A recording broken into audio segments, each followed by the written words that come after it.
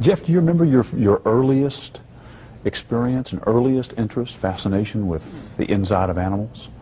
Where that came from? Uh, in ninth grade, uh, in biology class, we had uh, the usual dissection of uh, fetal pigs. I took the remains of that home and, and kept uh, the skeleton of it.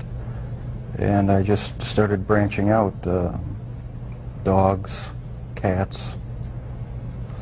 I suppose it could have turned into a, a, a normal hobby like taxidermy, but it, it didn't. It veered off into into this. Why, I, I don't know. All I know is that uh, I wanted to, to see what the insides of these animals looked like. Was there some pleasure in, in the cutting open of the animal? Yes, there was.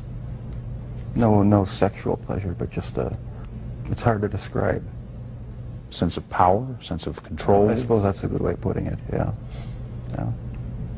I can sort of see a fascination for, you know, wanting to see uh, or, or, for looking at the insides of animals, say for the first time. After you did it one time, what more is to be gained by looking at another dog's inside, the yeah, second or I the don't third? Know. I don't know. That's it. That's, became a compulsion, and it switched from animals to humans. I, I, I still don't understand it.